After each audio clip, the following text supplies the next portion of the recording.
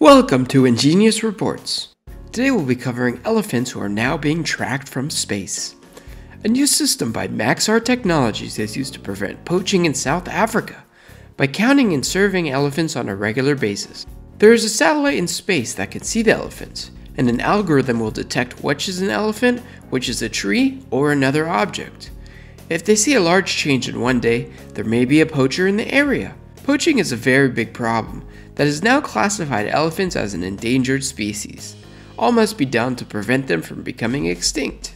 Are there any problems with this new satellite tracking system? Yes, there are. What happens if it's cloudy outside and it cannot see? Sadly, there is nothing that can be done. Leave a comment below letting us know what you think and if you have any ideas to help them improve this. Thanks for watching. Please subscribe for more daily ingenious reports.